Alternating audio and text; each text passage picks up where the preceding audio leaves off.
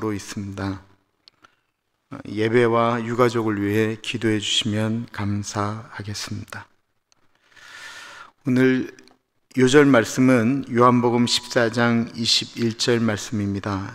이 말씀 우리 한 번씩 좀 보시면 설명을 할게요. 나의 계명을 가지고 지키는 자라야 나를 사랑하는 자니라고 표현하고 있어요. 예수님 사랑한다라고 우리가 다 고백을 해도 예수님께서 우리에게 말씀하신 계명을 지키는 자가 예수님 사랑하는 거예요. 예수님 사랑한다고 하면서 예수님이 원하는 걸 한 번도 지키지 않는 사람이 예수님 사랑한다라고 얘기하는 거 좀 너무하잖아요. 사랑하면 그 사람이 원하는 걸 하려고 하잖아요. 나의 계명을 지키는 자라야 나를 사랑하는 자니 나의 계명을 지켜서 예수님을 사랑하는 사람은 하나님께도 사랑받는다는 거예요. 하나님은 모든 사람들을 다 사랑하시죠. 하지만 하나님의 계명을 지키는 사람을 하나님은 사랑하신다라고 하는 것은 나의 백성으로 인정해 주신다라는 거예요. 그리고 예수님도 그를 사랑하여 그에게 나를 나타내신다라는 거예요. 예수님 만나고 싶어요. 예수님 경험하고 싶어요. 라고 이야기할 때 그 예수님의 사랑, 예수님에 대해서 느껴지는 것은 어떤 때이냐면 내가 예수님의 계명대로 살아가려고 할 때 그때 예수님이 드러나는 거예요. 그때 예수님의 마음이 나타나는 거예요. 그때 예수님이 어떤 존재인지를 깨닫게 된다라는 것입니다. 우리 요한복음 14장 21절 같이 읽어보겠습니다. 나의 계명을 가지고 지키는 자라야 나를 사랑하는 자니 나를 사랑하는 자는 내 아버지께 사랑을 받을 것이요 나도 그를 사랑하여 그에게 나를 나타내리라 외워봅니다. 나의 계명을 가지고 지키는 자라야 나를 사랑하는 자니 나를 사랑하는 자는 내 아버지께 사랑을 받을 것이요 나도 그를 사랑하여 그에게 나를 나타내리라. 아멘. 하나님께서 오늘 우리에게 주시는 말씀은 고린도후서 2장 12절에서부터 17절까지 말씀입니다. 하나님의 말씀을 받들어 봉독할 때에 살아계신 하나님의 음성을 들으시기 바랍니다. 내가 그리스도의 복음을 위하여 드로아의 이름에 주 안에서 문이 내게 열렸을 때 내가 또 형제 디도를 만나지 못하므로 내 심령이 편하지 못하여 그들을 작별하고 마게도냐로 갔노라. 항상 우리를 그리스도 안에서 이기게 하시고 우리로 말미암아 각처에서 그리스도를 아는 냄새를 나타내시는 하나님께 감사하노라. 우리는 구원받는 자들에게나 망하는 자들에게나 하나님 앞에서 그리스도의 향기니 이 사람에게는 사망으로부터 사망에 이르는 냄새요. 저 사람에게는 생명으로부터 생명에 이르는 냄새라 누가 이 일을 감당하리요. 우리는 수많은 사람들처럼 하나님의 말씀을 혼잡하게 하지 아니하고 곧 순전함으로 하나님께 받은 것 같이 하나님 앞에서와 그리스도 안에서 말하노라. 아멘. 사도 바울이 오늘날 터키의 한 지방인 드로아라고 하는 곳에서 복음을 전하고 있는데요. 엄청난 일이 일어났어요. 사도 바울이 복음만 전하면 수많은 사람들이 손을 들고 내가 예수님을 믿겠노라고 앞으로 나오기 시작했고 사도 바울이 십자가의 은혜와 예수 그리스도의 십자가 보혈의 은혜만이 죄 씻음 받을 수 있다라고 하는 이야기에 죽음에 두려워하던 수많은 사람들이 회개하며 자복하며 통회하는 그런 놀라운 성령의 역사가 드로아에서 일어나고 있었습니다. 그때의 분위기를 오늘 12절은 이렇게 말하고 있습니다. 내가 그리스도의 복음을 위하여 드로아의 이름에 주 안에서 문이 내게 열렸으되 내가 그리스도의 복음을 위하여 드로아에 갔다고 이야기하는데 복음 때문에 드로아에 갔는데 예수님을 전하는 그 일들이 너무나도 잘 되고 있었다라는 거예요. 문이 아주 활짝 열렸다라는 것입니다. 복음을 전하는데 복음을 잘 받아들이면 얼마나 신이 났겠습니까? 목회자가 복음을 전하는 때 복음을 받아들이고 그 복음 앞에 무릎 꿇고 예수 그리스도를 나의 구주로 영접하며 나아가면 얼마나 신이 났겠습니까? 바울이 얼마나 행복했을까요? 아니요, 바울은 행복해 하지 않았습니다. 왠지 바울은 그렇게 복음이 잘 전파되어지는데 복음을 전하다가도 들어와가 항구였거든요. 저쪽에서 갑자기 항구 쪽으로 백고동 소리가 나오면 복음을 오늘은 여기까지만 전하겠습니다라고 이야기하고는 급하게 정신없이 항구로 가서 저쪽 마게도냐에서 오는 배인지 아닌지를 확인했다라는 것입니다. 그리고는 그 배가 마게도냐에서 오는 배라고 한다면 내려오는 사람 한 사람 한 사람을 확인하다가 자기가 원하는 사람이 오지 않으면 금방 낙심한 얼굴로 돌아오곤 하였습니다. 도대체 이 바울에게 무슨 일이 일어났던 것일까요? 바울이 그렇게 복음이 전파되어짐에도 불구하고 복음을 전하는 일에 집중하지 못했던 이유는 고린도 교회 때문이었습니다.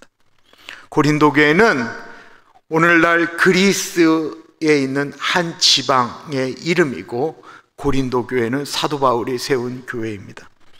사도 바울은 어, 고린도에 교회를 세웠고 교회를 개척한 지 얼마 안 돼서 그 교회를 떠났습니다. 그리고는 아주 훌륭한 목회자들이 고린도 지역에서 목회를 하였습니다. 우리가 잘 아는 아볼로 같은 분들이 브리스길라와 아굴라 같은 분들이 고린도 교회를 열심히 섬겼는데 고린도 교회에 문제가 발생했습니다. 너무나도 많은 오늘날 교회에서도 충분히 일어나는 수많은 이야기들이 고린도 교회에 일어나자 사도 바울은 고린도 전설을 보내게 됩니다. 거기에는 수많은 교회에서 일어날 수 있는 문제들이 다 기록되어져 있죠. 그렇게 편지를 보냈어요. 그리고 난 다음에도 사도 바울이 마음이 이렇게 놓이지가 않으니까 본인이 그 교회를 세운 사람이고 그래도 자기의 영향력이 있는 교회니까 아직도 그 교회에 바울파가 있고 수많은 사람들이 바울을 그리워한다고 하니까 바울이 시간을 내서 고린도를 방문하게 되었어요. 방문하게 되었는데 바울이 가면 문제가 해결될 줄 알았는데 문제가 해결되기는커녕 바울이 어떤 문제에 대해서 사람들에게 지적하고 징계를 내리게 되자 고린도 교회는 더 시끄러워지기 시작했습니다. 바울은 자기의 목적을 이루지 못하고 쫓겨나듯 고린도 교에서 쫓겨나고 말았어요. 바울이 그렇게 쫓겨나듯 고린도 지방을 떠나면서 교인들에게 이렇게 얘기를 했습니다. 지금은 내가 상황이 안 좋은 것 같으니만 물러납니다. 그리고는 제가 다시 방문하겠습니다. 라고 이야기를 했는데 고린도를 떠난 다음에 사도 바울이 아무리 생각을 해도 자기가 또다시 고린도 교회를 방문하게 되면 교회가 너무 시끄러워질 것 같아. 그래서 교회를 가지 못하고 그래도 자기의 마음을 이렇게 고린도 교회에다가 전달하기 위해서 하나님께 기도하면서 눈물로 편지를 쓰게 됩니다. 성경은 이 편지를 가리켜 사도 바울의 눈물의 편지라고 이야기를 합니다. 어저께 말씀인데요. 고린도 후서 2장 4절 말씀입니다. 이 편지는 이 세상에 지금 존재하지는 않습니다. 내가 마음에 큰 눌림과 걱정이 있어 많은 눈물로 너희에게 썼노니 이는 너희로 근심하게 하려 한 것이 아니요 오직 내가 너희를 향하여 넘치는 사랑이 있음을 너희로 알게 하려 함이라. 눈물로 쓴 편지. 제가 아까 문두신 목사님 앞에서 노래를 불렀습니다. 혹시 이 노래를 아십니까? 모른다라는 거예요. 저는 아시리라 믿어요. 눈물로 쓴 편지는 아시는 분은 따라하세요. 읽을 수가 없어요. 눈물은 보이지 않으니까요. 교인들 수준이 이 정도가 돼야 좀 장단을 맞추죠. 눈물로 쓴 편지. 이런 편지 받아보신 적이 있으세요? 편지를 받았는데 만년필로 꾹꾹 눌러 쓴 그 편지에 눈물이 떨어져서 읽기가 어려운 거예요. 읽기는 어려운데 그 내용은 대충 알지만 정확히 모르겠는데 그 편지를 읽는 내내 마음이 먹먹한 군대를 보내고 엄마가 꾹꾹 눌러 쓴 그 편지에 떨어진 눈물들 바울은 이 눈물로 쓴 편지를 동역자인 디도의 손에 쥐어주며 고린도 교회에 가서 교인들에게 이 편지를 전달해주고 내 마음을 그들에게 꼭 이야기해주고 그리고 고린도 교인들이 이 편지 때문에 어떻게 바뀌는지 어떻게 반응하는지 빨리 나에게 알려달라고 부탁을 했습니다. 편지를 쓰고 사도 바울은 무엇을 기대했을까요? 그 답장을 기다리지 않았겠습니까? 사절에 보면 내가 많은 눈물로 썼다라고 이야기하고 넘치는 사랑으로 그 편지를 썼다라고 이야기하는데 그런 편지를 보내고 사도 바울이 난 편지 보냈으니까 그냥 끝이야 라고 하는 게 아니고요. 고린도 교인들의 반응을 기다렸다라는 것입니다. 이 마음 이해되세요? 어저께 토요일 날 새벽 예배도 말씀드렸는데 우리가 카톡을 보내잖아요. 그 카톡은 이렇게 읽었는지 안, 들어, 안 읽었는지 그 밑에 1이라고 했던 숫자가 없어지면 상대방이 읽은 거잖아요. 내가 내 마음을 전달하는 카톡을 보냈는데 상대방이 분명히 읽었다라고 하는 것이 나타나고 있는데 아무런 반응이 없다고 한다면 어떤 생각이 드세요? 나에게 삐졌나? 왜 답장을 안 하지? 내 글에 무슨 문제가 있나? 내가 그 사람에게 무슨 상처를 줬나? 수많은 생각들 때문에 그게 마음이 걸려서 아무것도 못합니다. 사도 바울이 그랬습니다. 고린도 교회를 너무 사랑해서 눈물로 편지를 보냈는데 그 편지가 가고 디도가 충분히 돌아올 시간이 됐음에도 불구하고 이 디도가 오지를 않는 거예요. 그래도 드로아에서 바울과 함께 동역하는 사역자들은 지금 그 바울의 모습을 이해할 수가 없습니다. 복음이 활짝 열렸는데 사도 바울이 복음을 전하는데 중간에 이렇게 얘기하는 거예요. 내가 어디까지 전했습니까? 백고동 소리만 들리면 사람이 정신 나간 것처럼 자꾸만 항구를 쳐다보는 거예요. 복음을 위해 드로아에 왔으면 복음의 길이 열렸으면 그곳에서 최선을 다해야 되는 것이 맞는 것이 아닙니까? 바울도 그러고 싶었습니다. 그런데 아무리 노력해도 고린도 교회에 대한 생각이 머릿속에 떠나지를 않는 거예요. 우리 이런 적이 있으시잖아요. 이 일을 마땅히 해야 되는 일인데, 설거지가 산더미 같은데도 머릿속에 어떠한 생각에 사로잡혀서 어떤 일도 손에 안 잡힐 때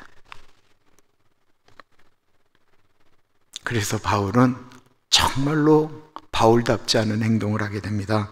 13절입니다.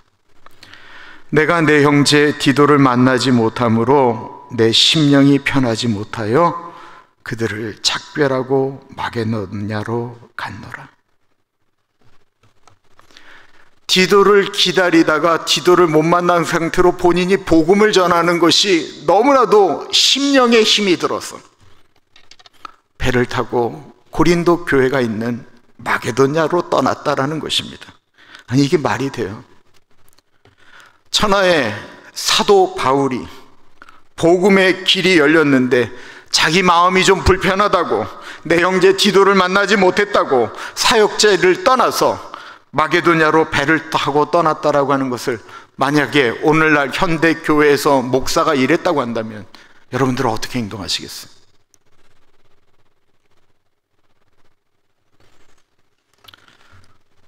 묵상하는데 저는 너무 좋더라고요. 아, 바울이 사람이었구나. 마음에 병이 있는데 아닌 것처럼 사역하는 사람이 아니고 어쩔 줄 몰라 하는 사람이었구나. 저는 예배 드리러 10시 30분에 여기 딱 기도하러 서기 전까지 계속해서 위에서 위산이 올라옵니다. 제가 27년 목회하는데요. 이 병이 고쳐지지가 않아요. 너무 긴장이 되어지고, 뭐 하나 실수하면 안 될까라고 생각되어지니까 예배 시간을 계속해서 이렇게 머리에 그리게 돼요. 이게 언제쯤 끝나나? 왜 나는 이게 익숙해지지 않지?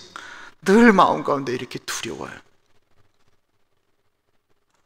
좀 목회자가 담대해야 되는데, 그러다가 오늘 바울을 보면서 얼마나 행복했는지 몰라요.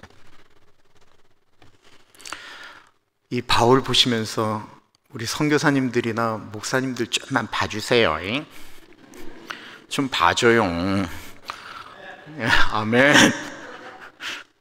곽 집사님 축복받기를 바랍니다. 우리가 성교제에 가면 일주일만 돼도 뭐가 많네 안 많네 벌레가 많네 불편하네 화장실이 어떠네 저떠네 일주일만 가도 일주일만 버티자 뭐 이러는데요 거기에 사는 선교사님들 보고 열정이 식었어요 능력이 부족해요 이렇게 얘기하면 안 되는 거예요 우리는 마음만 먹으면 먹을 수 있는 김치찌개, 된장찌개, 뭐 흰밥 이런 거 선교지에서 1년에 단 한 번도 못 드실 때 있어요. 우리가 흔하게 먹는 것들인데. 근데 거기에다 이렇게 얘기해요. 선교사가 현지에 갔으면 현지인처럼 먹고 현지인처럼 살고 그래야지 맞는 얘기예요. 그런데 한번 입장 바꿔놓고 생각해 보세요. 거기서 몸살 걸리고 뭐 말라리아 같은 거 걸렸을 때 뜨거운 육개장 국물 좀 먹으면 김치 한 조각 먹으면 좀 나을 것 같은데 그냥 라면 하나 끓여 먹으면 그래도 몸이 좀 좋을 것 같은데 그게 없는 거예요.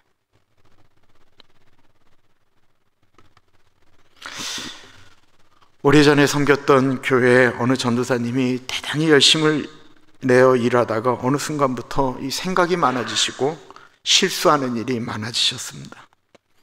교인들이 다 그 전도사님 못 쓰겠다고 내보내라고 얘기하는데 제가 섬겼던 돌아가신 장달륜 목사님은 좀 이게 좀 특별한 분이셨어요. 막 그 얘기가 당회에 올라오고 얘기가 되어지는데 전도사님이 왜 그럴까 알아보고는 시골에 있는 부모님에게 사람을 보냈습니다. 내용인즉슨 시골에 있는 부모님도 너무 어려운데 그 당시 전도사 월급 여기 돈으로 500불도 안 되잖아요. 부모님이 어렵게 사는데 장남인 본인이 전도사로 그거 벌어서 자기 먹고 살기도 힘드니까 나 마음이 너무 힘들고 어려우니까 목회라는데 열정을 잃어버린 거예요. 그런데 어느 순간 전도사님이 갑자기 다시 하나님께 은혜를 받았는지 다시 예전처럼 열심히 충성스럽게 일하기 시작했습니다. 왜 그랬을까요? 목사님이 교회 교인들 아무도 모르게 시골에 있는 그 전도사님 부모님에게 용돈을 붙여드리기 시작한 것입니다. 그리고 그 사실을 부모님에게 들은 전도사님은 너무 고마워서 더 열심히 교회를 섬기기 시작했습니다. 어느 누구 하나 교인 어느 분도 그 전사님이 왜 그랬는지를 모릅니다. 지금 이 말씀도 시간이 지나 목사님이 미국에 오셔서 저하고 여러 가지 이야기들을 하면서 그때 저에게 들려주셨던 이야기입니다. 이 전도사님이 지금 너무 유명한 목사님이 되셔서 이름을 거론할 수가 없어요. 사도 바울은 그때 식사를 해도 소화가 안 됐고 잠을 자도 잠을 잘 수가 없었습니다. 바울은 병이 들었기 때문에 결국 마게도냐로 떠났고 마게도냐로 들어가는 길에 디도를 만나게 됩니다. 바울은 힘이 들었지만 그래도 수고한 디도에게 질문하기 전에 식당으로 데려가서 이제 얘기를 드리려고 합니다. 음식을 하나 시켰는데 디도는 뭐 너무 수고했으니까 막 허겁지겁 먹는데 이 바울은 젓가락이 가지를 않습니다. 그리고 이야기합니다. 왜 이렇게 늦었나 이 사람아. 내가 자네 기다리다가 병이 들었네. 그러자 디도가 이야기합니다. 선생님 죄송합니다. 고린도 교회에 너무나도 급한 일이 발생해서 제가 그 일 처리 때문에 오지를 못했습니다. 급한 일. 사도 바울이 또 긴장하기 시작합니다. 뭐? 고린도 교회에 급한 일이 생겼다고? 더 안 좋은 일이 생겼나? 무슨 일이 일어났는데? 디도가 이렇게 얘기합니다. 네, 고린도 교회에 큰 일이, 급한 일이 일어났습니다. 난리도 아닙니다, 선생님. 그 고린도 교인들이 선생님이 쓰신 그 눈물의 편지를 읽고 온 교인들이 모여서 기도하기 시작했고 회개 기도하고 새 힘을 얻고 교회가 새로워지기 시작했습니다. 제가 그 일들을 처리하는데 다 처리하고 올래기 일찍 올 수가 없었습니다. 죄송합니다, 선생님. 근데 디도의 이 짧은 이 1분도 안 되는 이야기에 죽어가던 사도 바울의 얼굴이 펴지기 시작합니다. 디도와 함께 식사를 할 때 깔짝깔짝 먹는 둥 마는 둥 하다가 고린도 교회가 자신의 편지를 듣고 회개했다라는 소기를 듣는 순간 갑자기 사도 바울이 손을 듭니다. 여기요! 짜장면 곱빼기 하나, 짬뽕 하나, 탕수육 하나. 디도가 너무 놀래서 아니 선생님 이거 다 드실 수 있습니까? 뭘 이 정도 가지고 바울은 갑자기 소화가 잘 되기 시작했고 그날 밤 바울은 오랜만에 꿀잠을 자게 되었습니다. 알고 계세요? 우리 좌우에 있는 모든 사람들이요. 한마디 때문에 소화가 안 되기도 하고, 한마디 때문에 너무나도 소화가 잘 되는 분들입니다. 카톡이 카톡에 답장이 많아 위장 장애를 일으키다가 글을 보낸 줄 알았는데 안 갔다고 나 잘 잘 있다라는 그 한마디에 갑자기 위산이 쫙 내려가는 그런 존재들입니다. 사람은 그런 존재입니다. 오늘 본문으로 가장 많이 설교를 들으신 것이 있다고 한다면 그리스도인의 향기라는 표현일 것입니다. 항상 우리를 그리스도 안에서 이기게 하시고 우리로 말미암아 각처에서 그리스도를 아는 냄새를 나타내시는 하나님께 감사하노라. 바울은 항상 이기게 하셨다라고 말하고 있습니다. 바울이 언제 항상 이겼습니까? 바울은 얼마 전까지 마음의 어려움 때문에 드루아를 떠난 사람이었습니다. 그런 사람이 어찌 자신이 항상 이겼다라고 말할 수가 있습니까? 도대체 무엇을 이겼습니까? 사도 바울의 인생을 보면 맨날 두들겨 맞았습니다. 얼마나 두들겨 맞았는지 사람이 죽은 줄 알고 사람들이 그를 갖다 버리기까지 했던 사람입니다. 바울이 언제 이겼습니까? 그는 자신에게도 졌고 사람들에게 두들겨 맞았는데 도대체 뭘 이겼죠?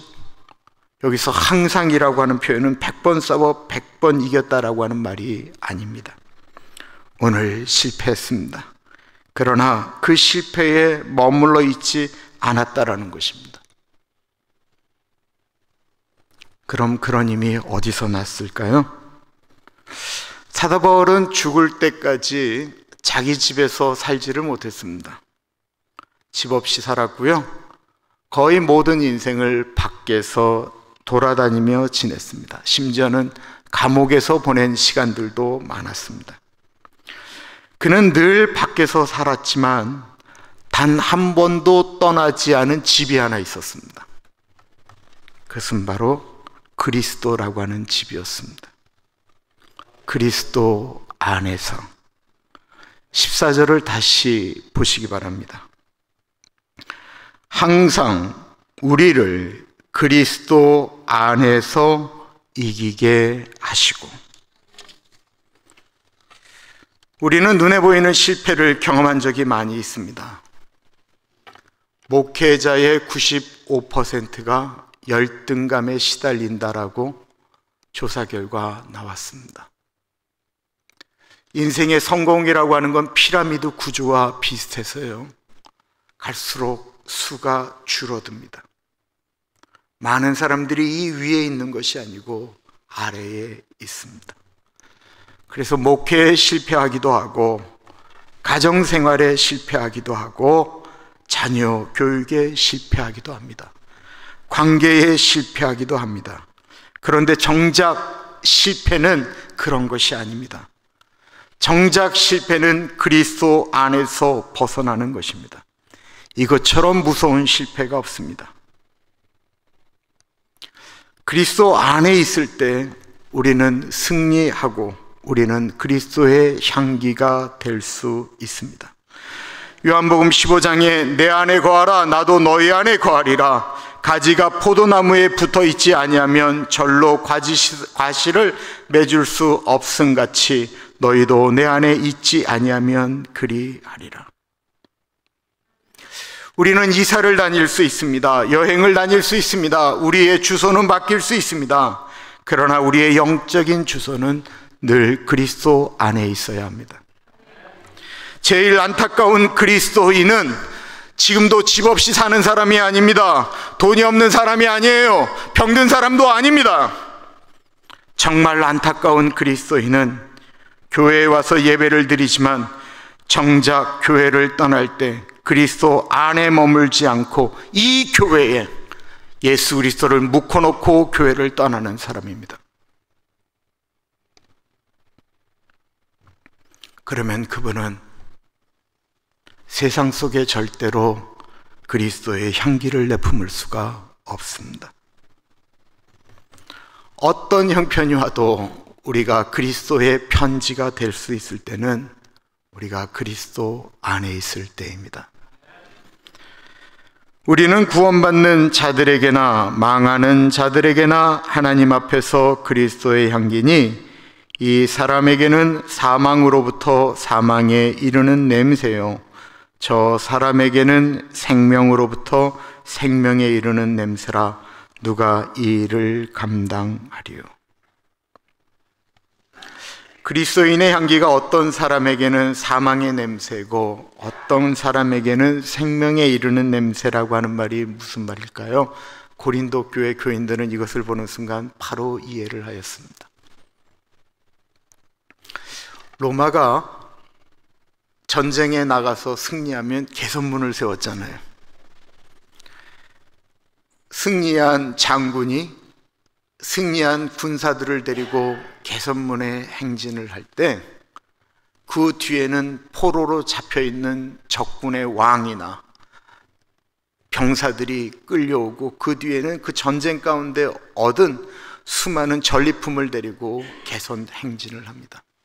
그때 이 행진하는 로마의 군인들은 나이키, 우리가 얘기하는 그 나이키는 승리의 신이거든요. 그 나이키 신전을 향하여 나아갈 때 향을 피웁니다. 온갖 향을 그 나이키 승리를 주신 신에게 바친다라고 향을 피우며 나아가는 거예요. 그들의 마지막 종착지는 주피터 신전인데 그 신전에 도착할 때 적장 중에 가장 우두머리에 머리를 베어서 그 주피터 신전에 바치게 됩니다. 그러므로 이 군인들이 피우는 그 향이 로마 사람들에게는 생명의 승리의 향기이지만 끌려 들어가는 적군들에게는 그는 죽음의 향기였다라는 것입니다.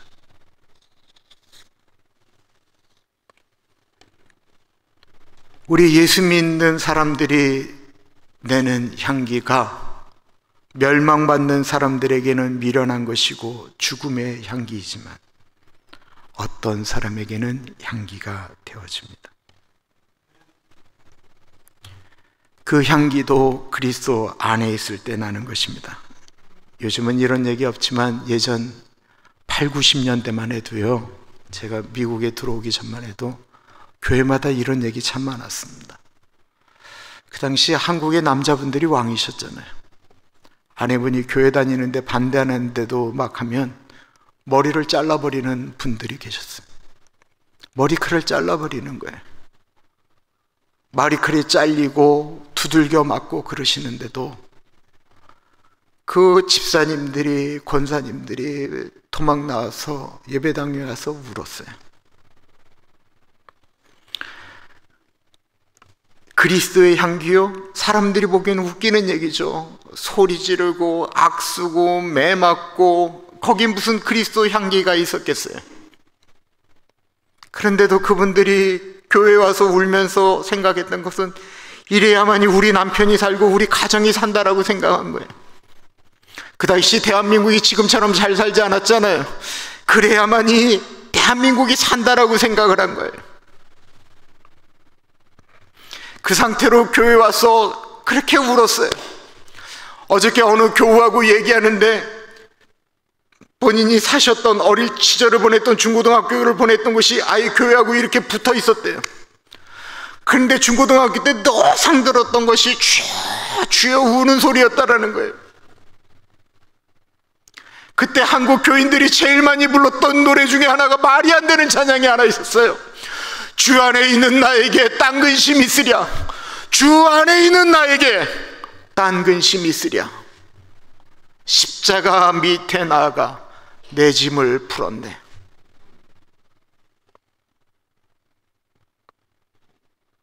그 70년대, 60년대 주여 주여 하는 거 외에 뭐 갈 데가 있어야죠. 할 게 있어야죠. 아무것도 할 것이 없었어요. 그때 한국교회 좀 멋졌습니다. 그때 한국교회 영향력이 있었습니다. 1980년대 한국의 민주화가 일어나고 뭐 할 때 수많은 젊은이들이 어디에 대안을 두었냐면 한국 교회에 대안을 뒀습니다. 그래서 그때 방송에 나왔던 수많은 사람들이 목회자들이었어요. 목회자들이 쓴 신앙 서적이 일반 서적 가운데 베스트셀러가 되었던 때가 바로 그때였습니다.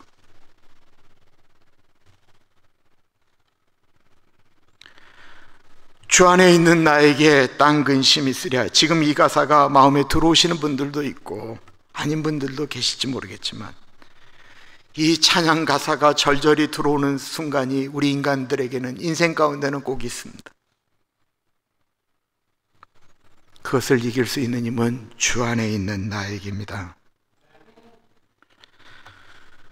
폼나게 살면서 다른 사람들과 함께 지옥 가게 하는 인생보다 부족하고 어리석다 할지라도 다른 분들과 함께 천국 갈 수 있다면 그것이 그리스도의 향기입니다. 이 향기는 어떻게 나타냅니까? 예수 그리스도 안에 있을 때 나타난다라고 이야기하고 있습니다. 예수 그리스도 안에라고 하는 것, 우리의 인생을 100%라고 할 때 99%를 예수님 안에 들어갔습니다. 나머지 1%는 그냥 밖에 뒀다 칩시다. 그럼 거의 다 들어간 거죠. 그런데 향기가 아닌 악취는 이 1%에서 날 가능성이 대단히 높습니다. 왜냐하면 이 1%는 내가 정말 원하는 나의 것들이기 때문에 그렇습니다.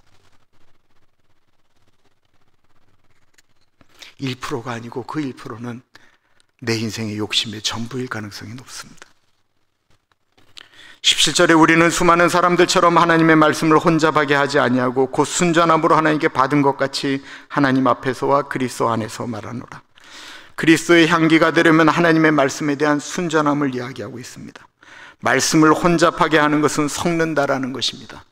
꿀에다가 설탕 타고 참기름에 다른 기름 붓고 술에다가 물을 타라 팔았던 것처럼 하나님의 말씀을 내 마음에 내 원하는 대로 해석하고 움직이고 하나님의 말씀을 지키려고 노력하는 것보다는 자기의 이익을 위해서 말씀을 지키려고 하는 것 그런 것이 아닌 하나님의 말씀이기 때문에 있는 그대로 지키고 애쓰고 노력하는 것 하나님의 말씀을 지키려고 할 때 그리스도의 향기가 납니다. 우리 오늘 예배 드리고 떠나실 때 예수님 여기다 묶어놓고 가지 마십시오. 예수님과 함께 예수님 안에서 살아가는 우리 모두가 되기를 간절히 축원합니다. 존귀하신 예수님, 예수 그리스도 안에서 살아가는 우리들이 되어지기를 소원합니다. 예배드리고 주의 전을 나설 때 예수님 모시고 우리 가정에 내가 하는 일에 예수님 주인이십니다. 라고 예수님 모시고 살아가기를 기도합니다. 그리스도인의 향기로운 사람들이 되어지기를 기도합니다. 주님 우리 오렌지 가나안 장로교회가 그리스도의 향기가 되어지는 교회이기를 소원합니다. 존